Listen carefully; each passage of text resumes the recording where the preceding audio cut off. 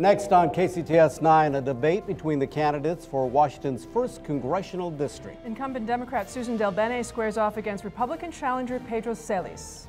See where the candidates stand on immigration, minimum wage, gridlock, Ebola, and other issues. Election 2014, the 1st Congressional District debate, is coming up next.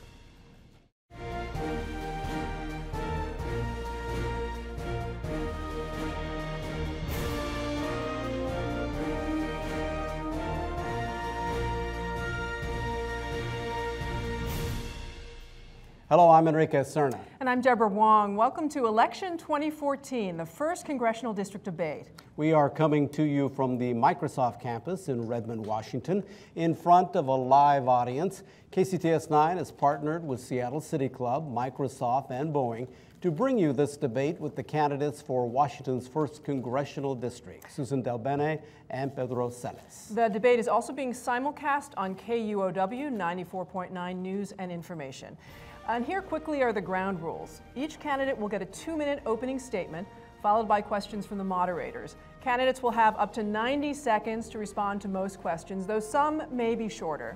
There will be no rebuttals, but each candidate does get three challenge cards. They look like this to use during the forum to rebut something the, their opponent stated. They'll have 30 seconds to make their challenge, and the challenged candidate will have 30 seconds to respond. Then each candidate will get a 90 second closing statement. All questions were developed by KCTS 9 producers and Seattle City Club. The order of the questioning was determined in advance in a random but fair manner. Now, here are the candidates. We ask the audience to hold their applause until we have introduced both. First, incumbent Representative Suzan DelBene, who prefers the Democratic Party, and challenger Pedro Celis, who prefers the Republican Party. Please give them a round of applause.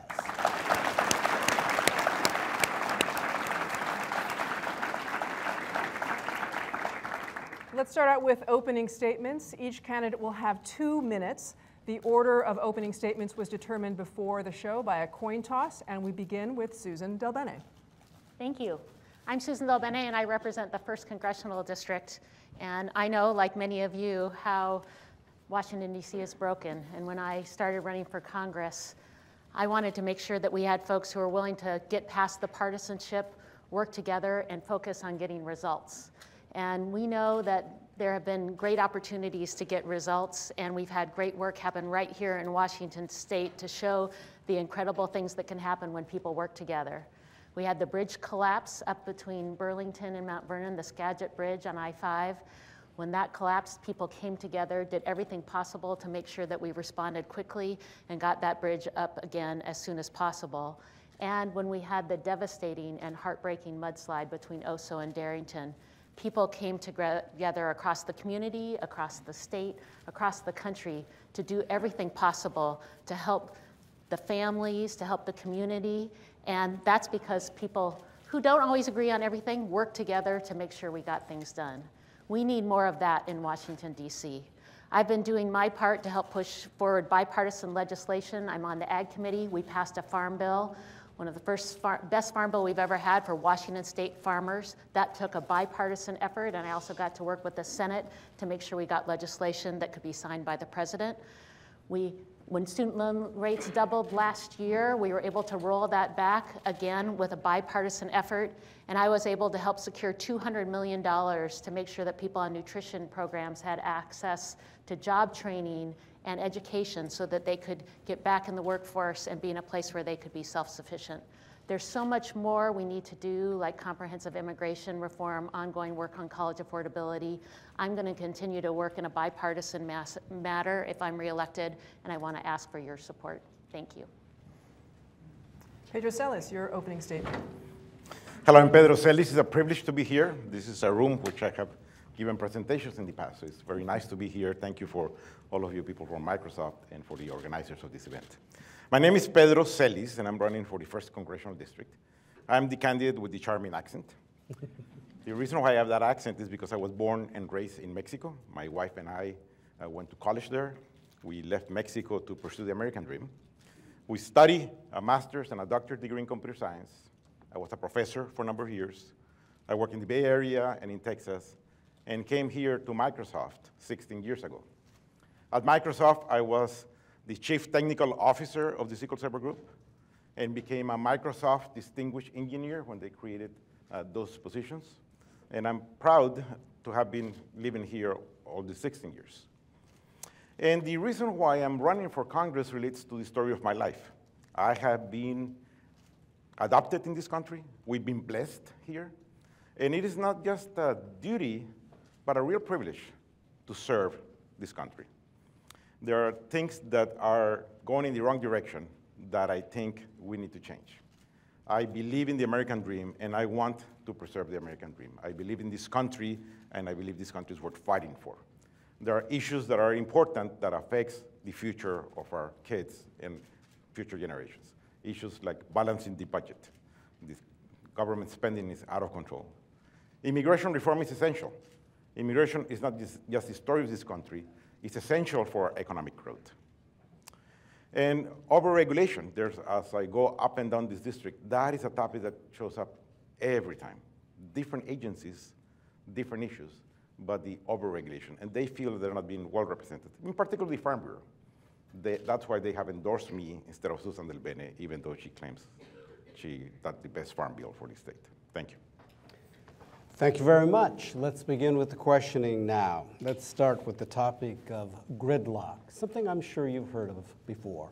Um, polls show that Americans are frustrated with Congress. Latest Gallup poll says approval rating is at about 14 percent. Uh, that's actually better than it was when partisan fighting brought about the two week shutdown of the uh, federal government. So the question is who is to blame?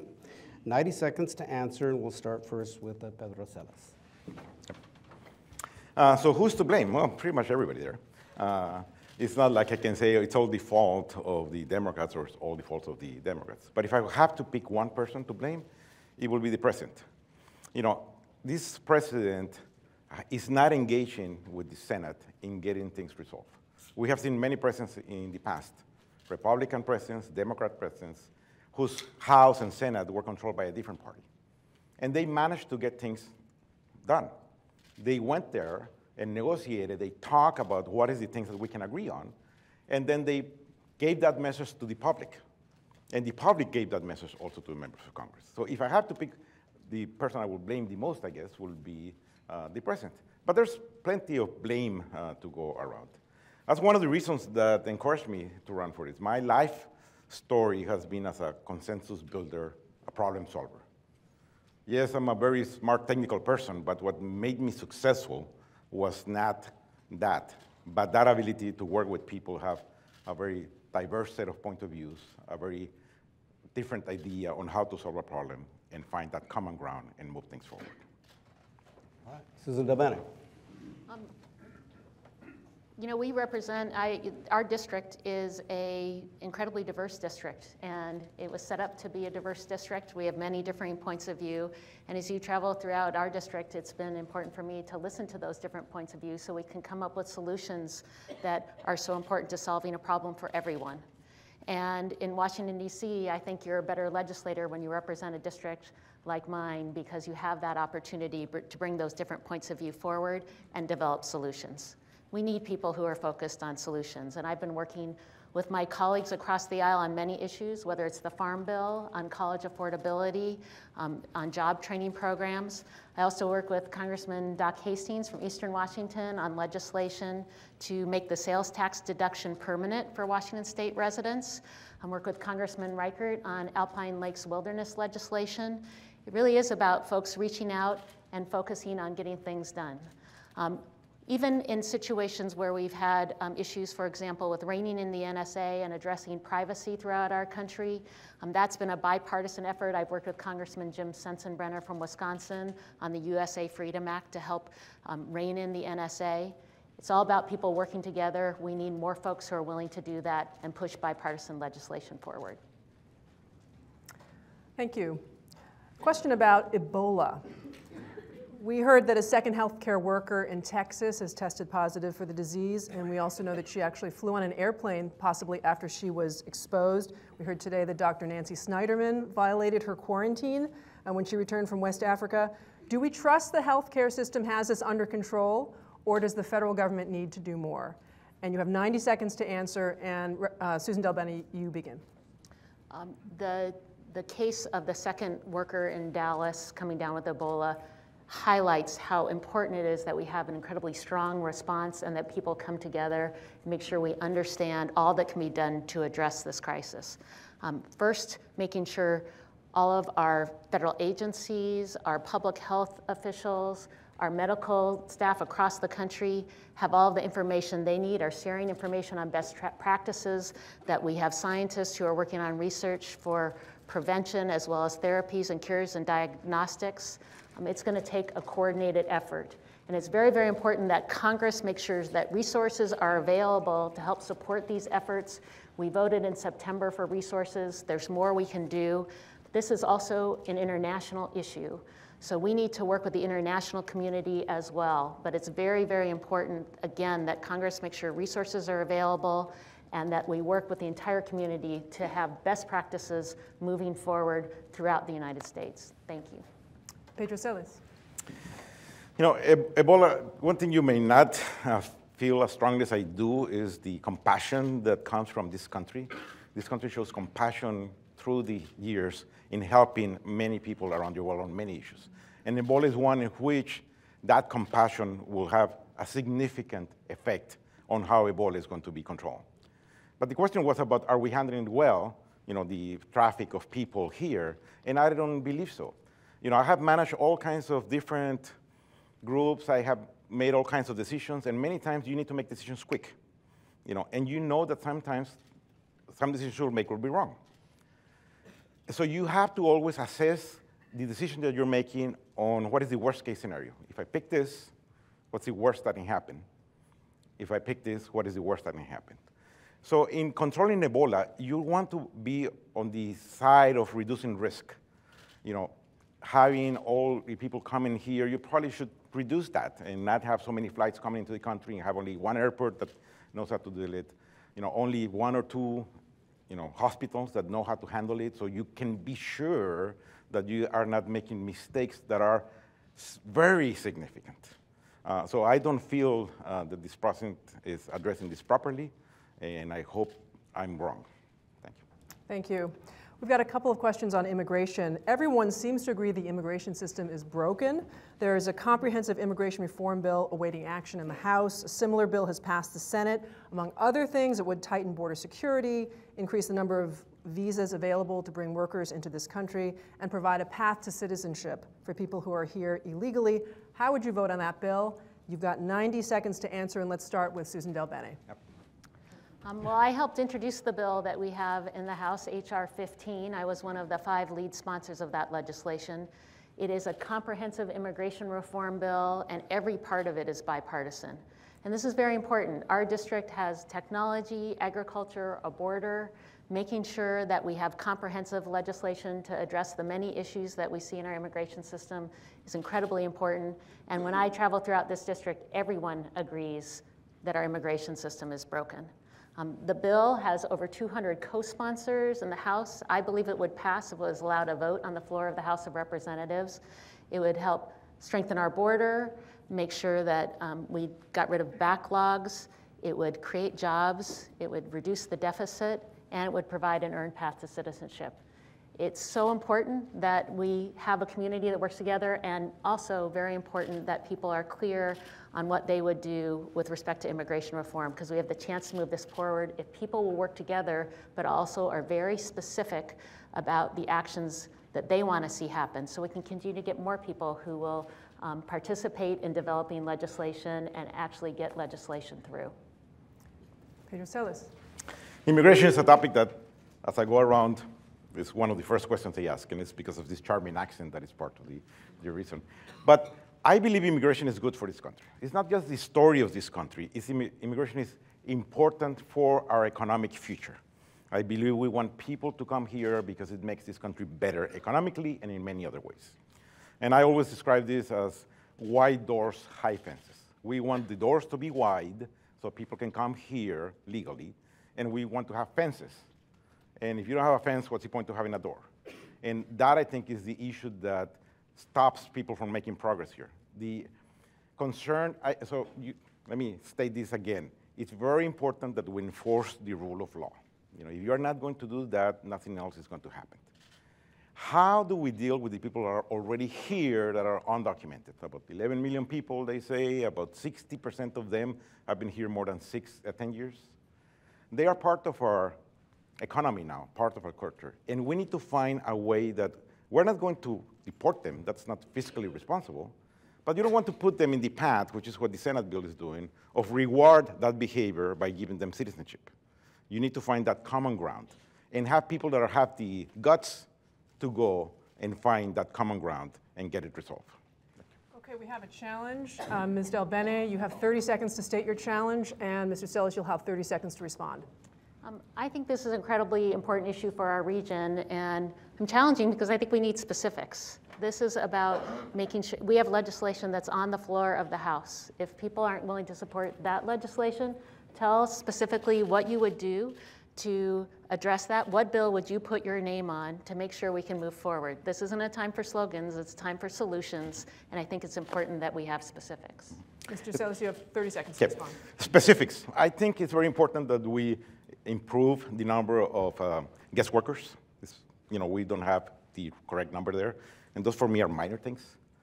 Uh, a thing that is more important and more specific is how do you deal with people who are here undocumented? I've been saying that we should have something like a uh, yellow card. You know what a green card is? Well, there's a yellow card. And that's people that are here undocumented should get that. And that does not put them in the carpool lane ahead of all the people who have a, a green card, but a way for them to be here legally. Another question regarding immigration, and again, specifics here from both of you. Uh, a little more than two years ago, President Obama, through executive order, established the DACA program, Deferred Action for Childhood Arrivals, which temporarily suspends deportation of dreamers, those young people brought to the U.S. not knowing that they were here undocumented. It also gives them a chance to work. So I want to know where do you stand on DACA? And would you support expanding it to include others who are undocumented, not just the dreamers?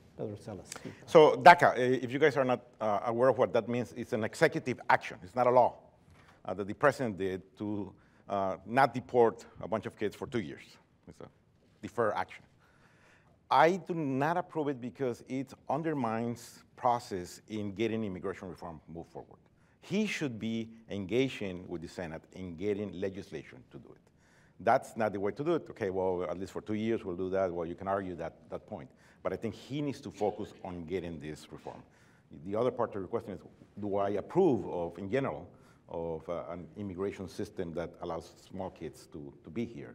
And I have been supporting that, you know, for a while. I had a, was a big um, endorser and supporter and made it happen, a bill that we had this year on what's called the Real Hope Act, which is a form of uh, uh, guest worker, uh, not sorry, uh, Act, uh, Washington State Act. So I uh, think that um, these kids that are exceeding in the schools that we have, that we're funding for them, that they are going to universities, they should stay here because we have already invested in them.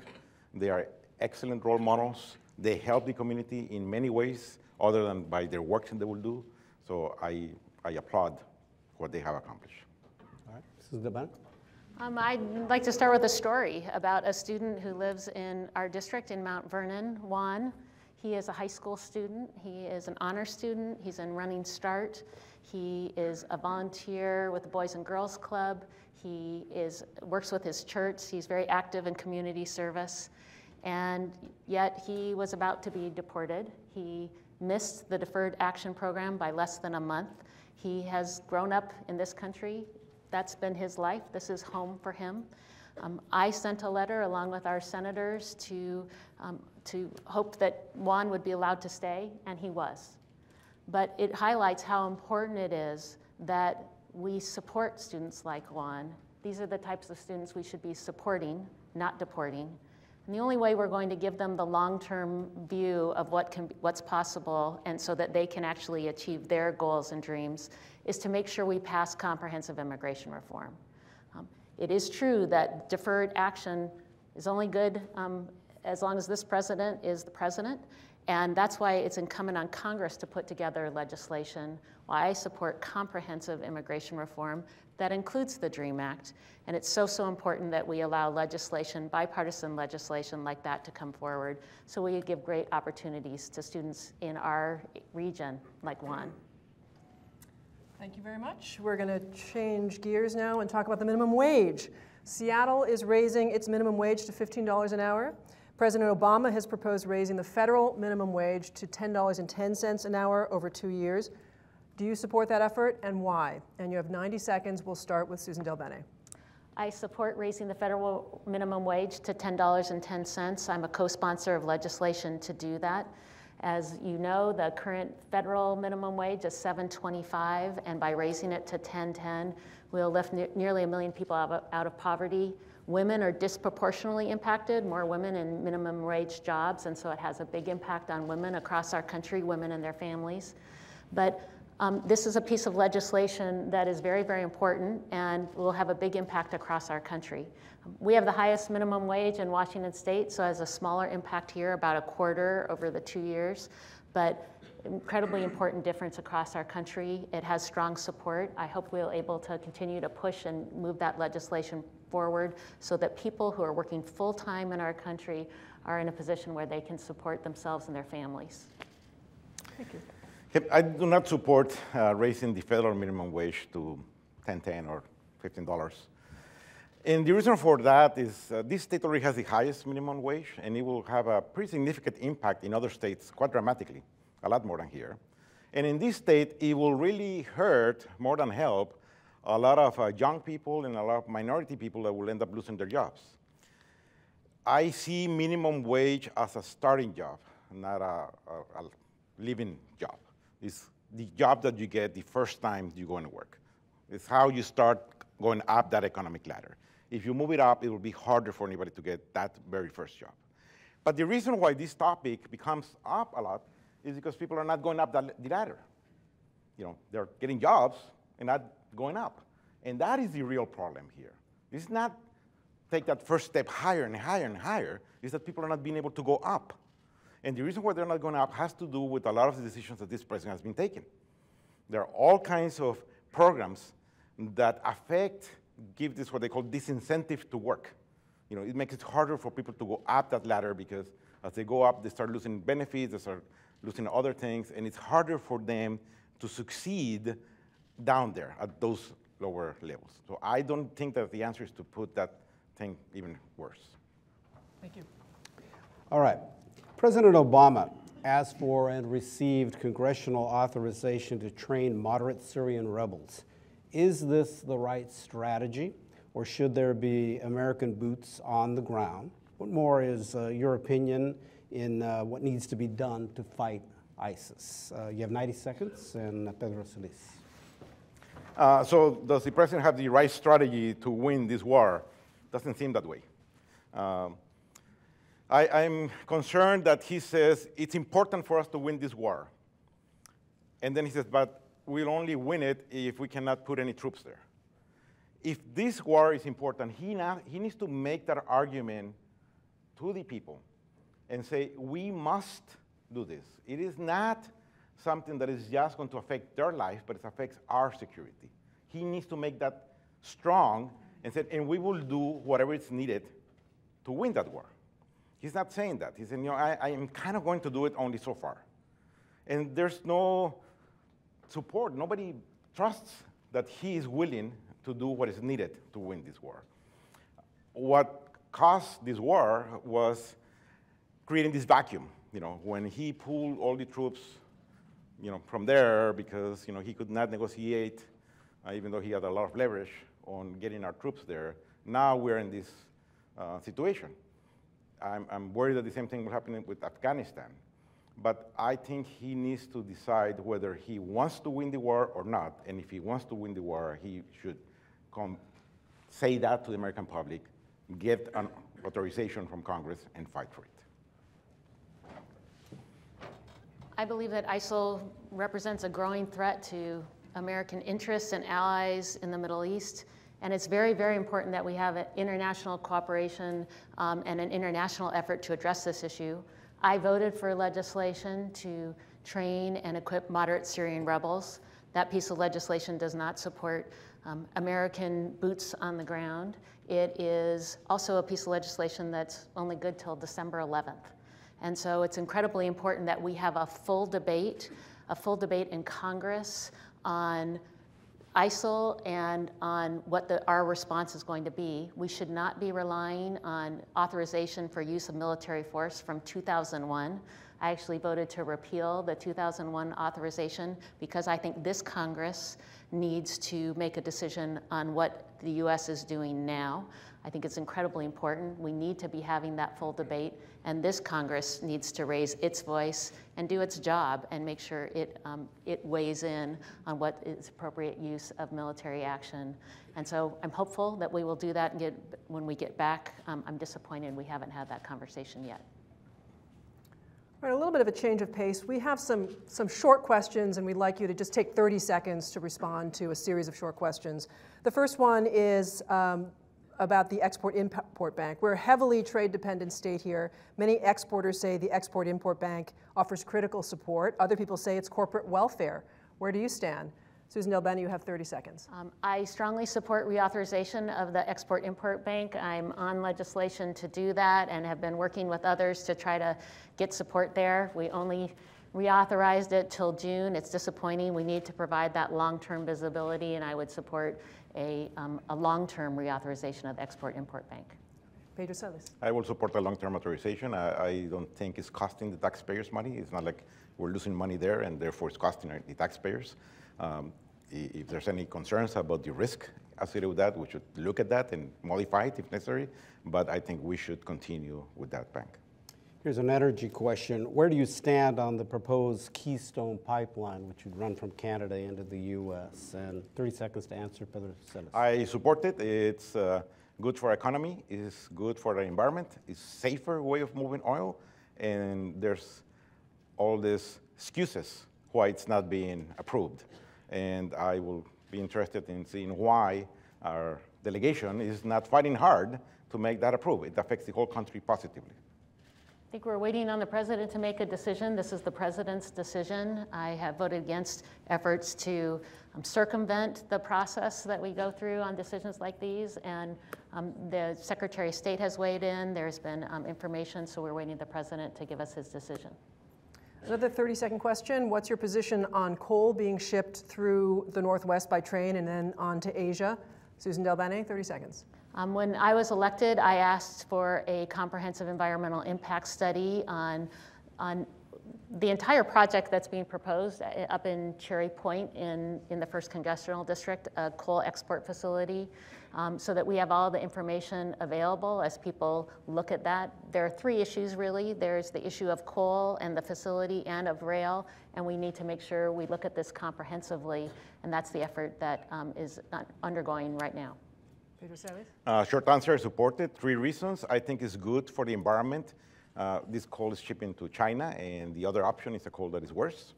Uh, number two, is good for a relation with China to have trade and have you know, more security with them. And number three, we'd rather have the jobs here instead of Canada. And that's the other option. If we don't build it on this side, it will just be sent from Canada. I'd rather have the jobs here. Okay.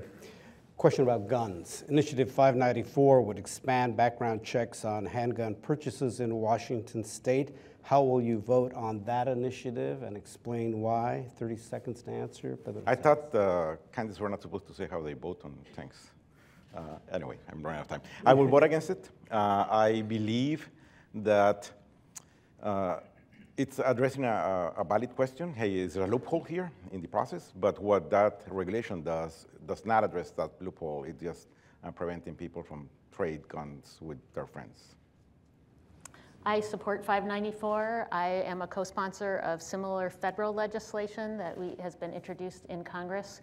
I think that we can protect Second Amendment rights and also make progress in making sure that criminals, for example, don't have access to what to firearms, and this is important legislation, important that, and Washington State will, will have a key voice on this um, here in the next few weeks. Thank you. We're going to go back to the longer questions now. Recreational marijuana is now legal in Washington, but because it remains illegal federally, local marijuana stores have had trouble finding banks that will handle their money. Should the federal government do anything to help these legal businesses? Suzan DelBene, you have 90 seconds for that. Um, yes. I think that I supported um, Initiative 502, and I believe that Washington State now is in a position to implement laws that are very important. But for, in order for that to move forward, we need to make sure that we have a banking system that can support the legal businesses that are running in our state. Um, I'm on the Judiciary Committee. We've been working to make sure that to um, address issues of conflict between federal and state law, but there is legislation in the House that would help on this issue so that banks are able to do banking for legal marijuana businesses. And I'm a co-sponsor of that legislation, something that Congressman Denny Heck in the 10th Congressional District in Washington State has been leading the effort on. And we also know that many, many more states have initiatives on their ballots um, this election cycle. And so besides Colorado and Washington, we're going to see others um, most likely who are going to be part of this group. And so it's very important that we have legislation in particular to, um, to address the banking issue because it's a, it's a law enforcement issue if it ends up only being a cash-only business.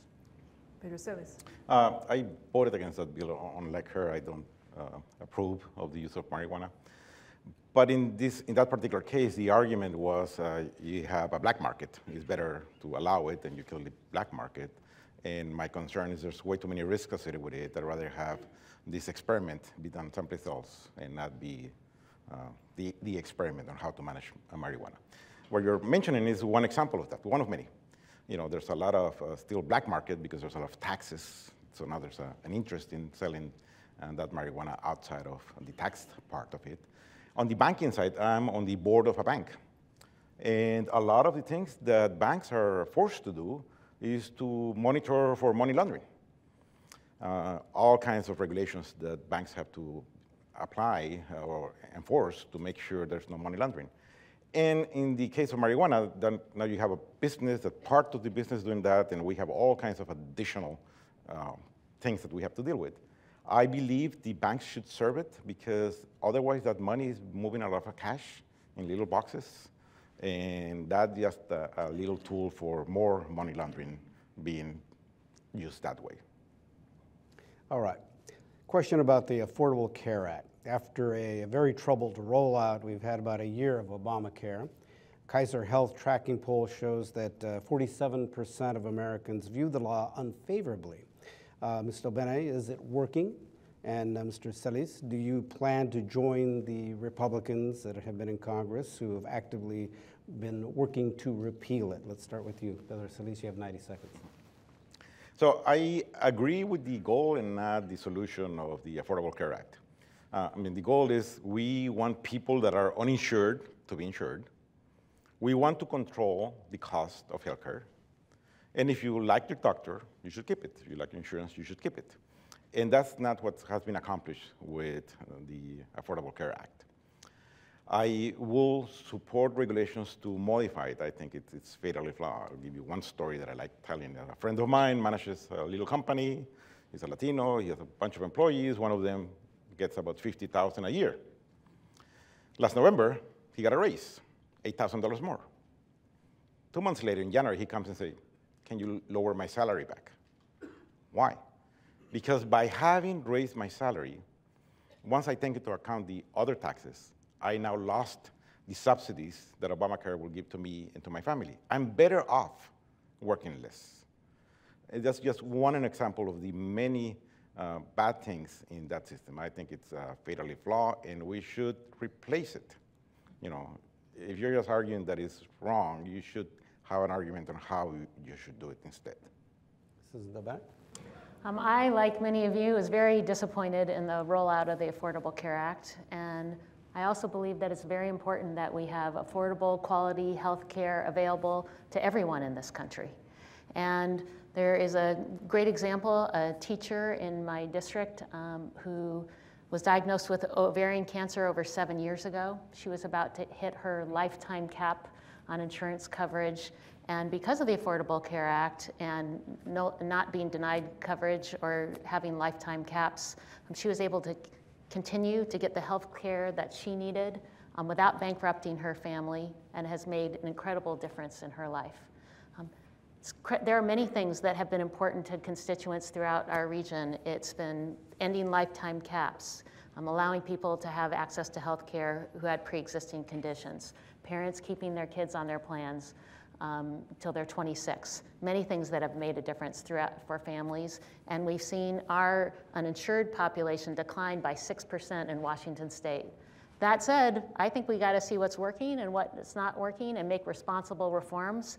I have two pieces of legislation, one to help support small businesses who are trying to offer health care for their employees, so important to expand tax credits for them, and also some technical changes to help families. Um, it's important we have people work together, once again, to make sure everyone has access to affordable quality health care in our country. Thank you. This year, the Supreme Court allowed Hobby Lobby uh, to not cover contraceptive coverage to women through Obamacare on religious grounds. What do you think about that ruling and why? Uh, Ms. DelBene, you have 90 seconds to respond. I was extremely disappointed in the Hobby Lobby ruling. I think that women should make their own health care decisions with their doctors, and those decisions should not be made by politicians and should not be made by their employers. It's so important that people have access to the health care they need, and very disappointing that this decision came down. I have been working with others in Congress to look at potential legislative options to try to address um, some of the issues that have been brought up by the Supreme Court case. But it's very, very important that we continue to make sure that women are able to make their own healthcare decisions and that we support that. Um, so I'm very disappointed in that decision. Mr. Celis? I thought it was a good decision. The, uh, it was a very narrow decision. But what the Supreme Court did is said, hey, you know, we have a law that says companies cannot be obligated to do certain things. In this case, were abortion pills type of thing. You know, and you, the president, wrote this thing on top of Obamacare that is contrary to it. I disagree with her that says uh, that's the reason now why a woman has to talk to their employer whether they want to take that pill or not. I mean, she's basically saying up till December, they had to do that, and then now that this started, for six months they didn't, and now they have to go back to that. This is just who has to pay for that bill, uh, that pill, sorry. And if a company is not, does not feel that they must be forced to pay for it because of moral rules, the government should not be pushing in. It's there, the government can pay for it. There are other ways of dealing with it, but you should not be taking that right from companies uh, to make those choices. You have a challenge? Yeah. 30 seconds. Go ahead. I don't believe that corporations are people. And I think it's incredibly important that women are, have all their healthcare options available to them and that they can make their own decisions. Um, where does it end? Where, what's the next thing that a company decides someone can't do? Can they not have blood transfusions or vaccines? Um, how, do you, how do you view this? Why is it a unique issue for, for women and why should we be um, letting corporations make those decisions on what type of healthcare options women have? It's not the employer that is deciding whether a corporation, uh, an individual should take, you know, one of those pills or not. The employer is not known, the employer cannot be informed of anything. If you know anything about the privacy issues, you know, you go to a doctor, you do whatever, your employer doesn't get to know anything about you. The only thing is, a company is it forced to not have to pay something that is against their values. And you're making an argument that corporations don't have, uh, are not people, and therefore they don't have rights. I disagree with that. Okay. Let's move on here. Uh, a question about independence. Give us at least one issue that you disagree with your own party. Uh, so much so that you would buck your party leadership and vote for the position of independence or the folks on the other side of the aisle. And please be specific. Pedro Celis, start with you. Me first? Well, I, I don't think uh, the government shutdown was a good idea. Uh, I, I agree with the goals, not the solution. Not, you know, sometimes you lose a battle to win a war. I don't think this one worked in that way. Um, but it's uh, Monday morning quarterbacking. You know, I don't think it should have been done that way, uh, but you know, I wasn't there in the middle of it. Uh, but that's an example of where I think, you know, I don't think that was the proper way uh, to handle how do we force uh, Congress to balance its budget. Uh, that's why I support a balanced budget amendment. We need forcing functions. If you don't have forcing functions, things don't happen. Many of you have managed all kinds of organizations. You know that you need forcing functions to make things happen. And we need something like that. The state has it, you and your family have it, but the federal government doesn't. And that was not the good way to do a forcing function. Suzan DelBene? Um, a very specific issue. I disagree with the issue of the administration's view on domestic surveillance. I disagree with the actions the NSA has taken, and I was a leader in making sure that we put together legislation to rein in the NSA and put back in place the balance between our civil liberties and national security. Um, we had votes even in last year, um, and was I was a, a, rare vote there on, on legislation, and we've moved forward and built a stronger coalition, a bipartisan coalition um, on legislation that would increase transparency on what's being asked, for example, of technology companies in terms of the information they should reveal about the national security letters that they're getting, um, to address bulk collection of data, and to have an advocate in these private um, private courts that argues on behalf of the public. So there's an adversarial system there that has not been taking place. Um, that bill was watered down when it came to the floor of the House of Representatives, and I voted against it. It's in the Senate now, and I'm hoping that they'll add back provisions to strengthen that. But it's a very, very critically important issue that I've been working hard on and been a leader on. And it's been a coalition of people on both sides of the aisle to help make sure that we get this legislation moving forward. Did you have a challenge? Yep. We have a challenge. 30 seconds.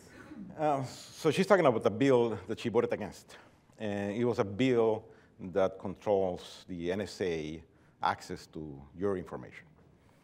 And I'm sure it's nowhere close to what I would like that bill to do. But it shows that inability to negotiate and accomplish the parts that you, that you need to do. Our bill actually came out of the Judiciary Committee with bipartisan support, strong bipartisan support. It was on the floor that amendments were made to weaken that bill. Um, and in a bipartisan fashion, there are many of us who voted against it because we think it could be stronger. Part of being a strong legislator is making sure that you make sure the right legislation moves forward, and that's an important part of the process. Thank you. Both of your campaigns talk about being more efficient as a government and cutting wasteful spending. So give us three good ideas for cutting wasteful spending. Starting with you, Ms. DelBene, you have 90 seconds. Um, you know, it's incredibly important in Congress that we budget and we look at things that are giving a, us a great return on our investment and make sure we invest in those and look at things that aren't giving us a great return and end those programs. Um, very specifically, um, in the Farm Bill, we ended direct payments, money that was sometimes going to people who weren't even growing crops. By ending direct payments, we actually are reducing the deficit by billions of dollars over the next 10 years. Um, if we would pass comprehensive immigration reform, we would reduce the deficit as well. The CBO says um, $200 billion over the next uh, decade. Very, very important. Um, we also need to look at tax breaks that we give and realize that we are providing tax subsidies in places where we're not getting a great return. One example would be tax breaks for big oil companies. We would save um, reduce the deficit by $4 billion a year just by ending those. And th that's dollars that, again, um, can be used to address the deficit and the debt, or can be used to make sure we invest in things that give us a great return, um, help grow our economy. So those are a few specific examples. Thank you. Mr. Celis. Uh, so we need a forcing function because that's what, what makes uh, things uh, move uh, a forcing function like a balanced budget amendment is a way of doing it. But your question is more, okay, well, since you don't have it, what will you do now in the meantime? Uh, you know, there's plenty of agencies that it's hard for me to find one that I'm proud on how efficient and how effective they are. Uh, you know, EPA, IRS, you know, those are easy ones to, to go and, and reduce the spending. But I'll focus a little bit more on the Farm Bill because she has been touting as one of the best farm bills for this state. And as I go up and down the district, that's not what I hear. They all tell me about the huge expenditure, and I'm talking about a lot of money there that is not really affecting this state. And all that money is helping corporations that should not be helped with your taxpayers' money. Um, so, you know, that would be a good one to, to focus on. I mean, if she thinks that this is the best farm bill for the state, that'll be one in which we could have cut quite a bit of the spending uh, that is not necessary for the state. All right. What taxes would you like to see raised? And what taxes would you like to see cut? We have 90 seconds. Pedro Celis, start with you first. I would like to get um, pretty much all forms of uh, deductions uh, removed. And there's all kinds of companies that if they specialize in this, if they specialize in that, and specialize in that, they get uh, subsidies. Uh, so I'm calling that raising taxes, you know, because now you're going to tax them for something that today uh, they, they wouldn't have to, to tax. I will focus a lot on, on those are the, the taxes that I will be raising. And the taxes that I will be lowering will be the ones that affect, we have this community of people that have a need and we're not helping them by giving them um, subsidies and things like that that they lose as they go up. I will change that into giving them uh, a, tax break that they keep no matter how far they, their economic ladder goes. So it's a little bit spending of money there to get them not be trapped into this disincentive to work mechanisms that many of the programs have been doing. I think I lost you there in the question. I'll try again later. You have 30 more seconds. You want to elaborate a little bit more there? Oh, sure. Okay. I thought I was done. Uh, let me elaborate on that. Uh, for example, I was talking about this uh, Obamacare, you know, this employee, he loses his money and whatever. I, I think that's one example of many others in which um, they should be getting some help as they're going up, that they don't lose as they go up that economic ladder. Okay. I think we need comprehensive tax reform. Our tax code looks like a piece of Swiss cheese. It's got exemptions and subsidies, and if you have enough accountants and attorneys, you can navigate through that, but it's very complex and hard for families and small businesses. And so we need to, to make changes. And we need to make those changes based on what's really working to help our economy. We need to make sure that we are looking at things that might have been put in place in a time that worked at that point in time, but end them. Seems like nothing ends. So things like tax breaks for big oil companies, they're highly profitable. They don't need those anymore. Those are things that we should be getting rid of. We also should look at tax policy that encourages jobs to be shipped overseas and make sure that we don't have tax incentives for that. Um, but also another important piece of tax policy is making our, sure that our tax policy is working. Um, and in Washington state, we have one area it's very important that we make a change um, because our local businesses are struggling because they are losing business to out-of-state online retailers who don't have to collect sales tax. It's a tax that's owed, but they don't have to collect. And so I'm a co-sponsor of bipartisan legislation called the Marketplace Fairness Act that would help our local businesses places like the running store where um, they're losing business to online folks um, to make sure that everyone's collecting those sales taxes. So again, we have an equal playing field that helps our local communities and our local businesses. Thank you. Can we talk about climate change? How high up in your list of priorities is climate change? And what's your one best idea for fighting climate change? Uh, Suzan DelBene, you've got 90 seconds. So climate change is a very real threat. It, we have information that proves that climate change is a very real threat right now to our economy, to the future of our children, to our way of life, and it's very, very important that we address this. Um, one of the things that we need to do is make sure that we are supporting development of clean renewable energy it's very important, it's a huge opportunity right here in Washington State where we've been very innovative and can learn um, and provide that, provide that learning to others, not only in the, in the United States but around the world. Part of that is looking at things like the grid, at um, storage so we can store energy, to look at new ways to use wind and solar, to um, continue to invest and make sure that we have a strong, clean, renewable energy infrastructure. That's very, very important because without all of that work going on, we're not going to have ongoing alternatives. We also need to invest in energy efficiency, make sure that um, every, every bit of energy that's being used is being used as wisely as possible. Again, Washington State is a leader here, but we can continue to be an economic leader um, ourselves by making sure we support strong innovation. Thank you. Pedro Celis. Um, in this country, the amount of CO2 that is uh, produced has been going down. It's you know, now down to the level it was 13 years ago. And that's not because the federal government has been doing anything about it or because it's been taxing you know, the poor and the middle class uh, to have them consume less energy. It has been because of oil. You know, oil is becoming more important, cheaper, and therefore replacing uh, coal.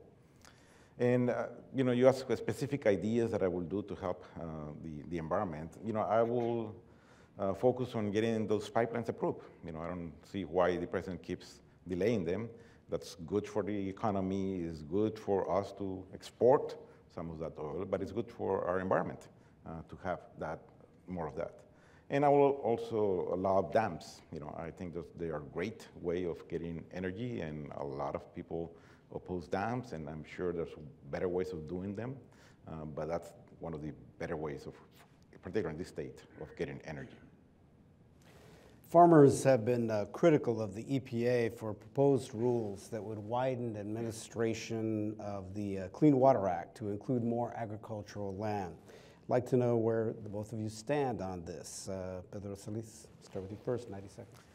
So the, last September, uh, there was a, a bill in the House that was passed to try to control the EPA on exactly that. And that's something that was uh, crucial for the farm industry. It was passed in a bipartisan fashion. It was something that the state farm uh, organizations are asking for it, and it was something that Suzan DelBene voted against. So it's not one, uh, it's not a bill that really helps the farm industry. It's not a bill that uh, is, you know, that shows bipartisanship. And that's an example of the overregulation that I'm seeing all around. EPA is usually one of the topics, it's not the only one. But EPA, in particular to the use of water in private lands, is a topic that I, every week somebody mentions to me. It is a very controversial EPA rule, and I'm co-sponsor of legislation to help address that. Um, address it in a way that also makes sure we protect um, our water and support our farmers. The disappointing thing on the bill that came to the floor um, that was voted on is that it actually removed the rule and did not allow a solution going forward, so left this in limbo.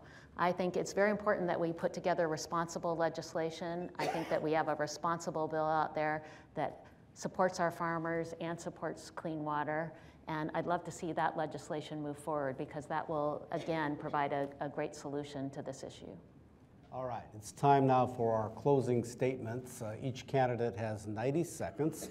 The order was determined in advance, and we begin with Pedro Celis. Okay, so I'm Pedro Celis, and I'm here to make a pitch on why you should vote for me. And I'll give you three arguments. Um, one has to do, I think this country is going in the wrong direction. The president said his name is not in the ballot, but his policies are in the ballot. And you really need a check and balance uh, to that president. You don't want somebody like Suzan DelBene that is approving pretty much everything this president is doing. 94% of her votes go with the party. Uh, so you really need somebody that does check and balances here.